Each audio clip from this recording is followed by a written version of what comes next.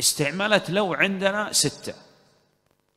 أن تستعمل لو في الاعتراض على الشرع. لأن النبي صلى الله عليه وسلم أمر الجيش بالخروج إلى أحد. أهل النفاق ماذا قالوا؟ لو كان لنا من الأمر شيء. لو. هنا اعتراض على ماذا؟ على تشريع النبي صلى الله عليه وسلم. استعمال لو الثاني اعتراض على القضاء والقدر هذا يخرج؟ لا تخرج. قال لا أريد أخرج. يخرج يحصل له حادث. تقول لو أطعتني ما حصل لك ما حصل. هذه لو محرمة. اعتراض على ماذا؟ على القضاء القدر. القدر نازل به لا محالة. صح؟ نعم.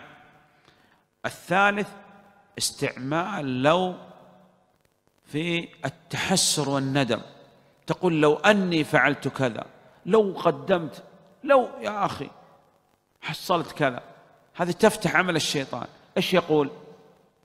يقول قدر الله أو قدر الله وما شاء فعل. الرابع من استعمال لو أن تستعمل لو في الاحتجاج بالقضاء والقدر على المعائب. إنسان يشرب خمر تقول لي يا أخي اتق الله كيف تشرب خمر؟ قال لو شاء.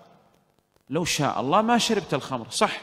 لو لو شاء إنما أشرب بقضاء الله. يا أخي اتق الله.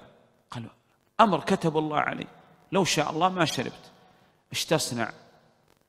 تضربه حتى يغمى عليه. مفهوم؟ تضربه حتى يغمى عليه. فإذا أفاق وقال ليش تضرب؟ تقول لو شاء الله ما ضربتك. أنا ضربتك بقضاء الله. اقتنع الحمد لله والا اعطيه الثانية. مفهوم؟ نحن نقول هذا الكلام حتى نتصور المساله لا تضرب احد. رفع سارق إلى امير المؤمنين عمر رضي الله عنه. فامر عمر رضي الله عنه بالشرع ان تقطع يده. فجاء معترضا على عمر قال يا امير المؤمنين انما سرقت بقضاء الله. اتلومني على شيء كتب الله عليه؟ لو شاء الله ما سرقت.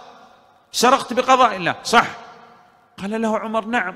ونحن لا نقطعك إلا بقضاء الله. اتلومني على شيء كتب الله؟ كتب الله ان نقطع يدك لماذا تعترض؟ اجاب أجابه بنفس بنفس الحجة. مفهوم؟ هذا استعمال الرابع.